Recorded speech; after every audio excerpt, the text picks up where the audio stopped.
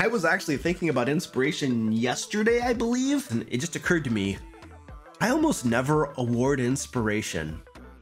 And then I was thinking, I was like, you know, a couple years ago, I awarded inspiration all the time. And what changed? And I was like, oh yeah, I forget.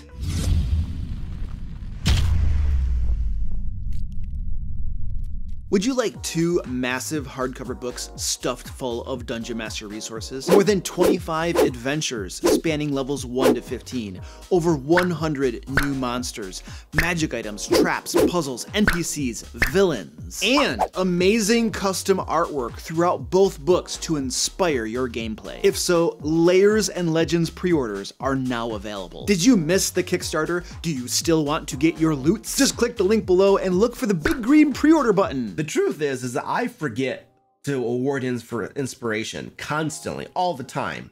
And then every so often during a game, I'll just be like, oh, I should give people inspiration. Because usually because somebody did some really fine role playing. And I'll be like, oh, I should give them inspiration. And then I'll be like, well, I haven't given inspiration out at all recently. Well, they did some good role playing. Yeah, okay. And this is all in my brain, right? They just and they did too and then oh yeah they did too and then oh, i don't i don't know if that guy did. But if i give ever if i give like everybody but that person inspiration i'm gonna feel really bad. Okay okay everybody gets inspiration. That was great role playing i love this and i haven't given it out for everybody gets inspiration. Please take inspiration. And then everybody gets inspiration. And then like you know three months will go by and i'll forget to do it. I give out inspiration when you are role playing your character specifically if you're role playing things that align with there are like four different categories that you pick for your character.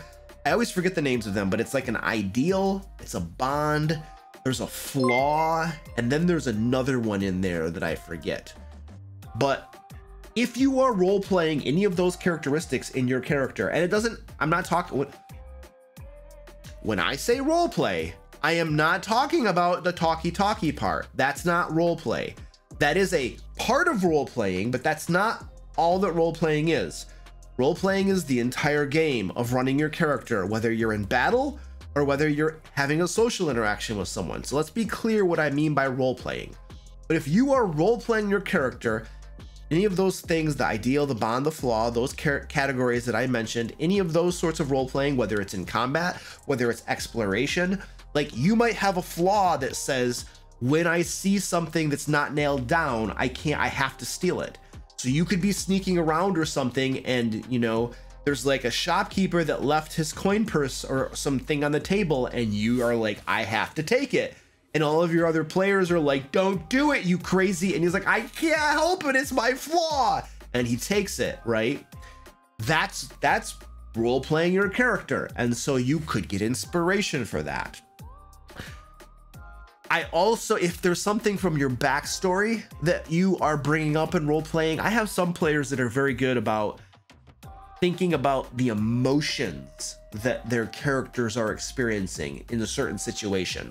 And they'll get inside their characters' heads and then explain, like, you know, uh, I'm gonna pick on Kasim because I think he's a pretty good example of this. But Kasim will be like, oh man, this is really like trigger me right now. And so Kasim is just really X, Y, and Z emotions, you know, and stuff. And he'll he'll explain that, you know. He's not I mean, it doesn't have to be like a crazy verbose 20 minute explanation of your feelings. That doesn't interest me as much as a couple sentences.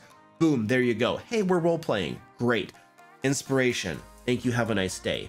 So I look for those things, any of those characteristics, ideal bond flaws, and the, and the other one I'm forgetting. If you're role playing things from your backstory, if you're if it could be in combat and role playing. The other category that I give inspiration for as well that is not and and all those things that I just mentioned, those are things that are mostly straight out of the Dungeon Master Guide, out of the book. Those are things that are recommended for you to give inspiration for.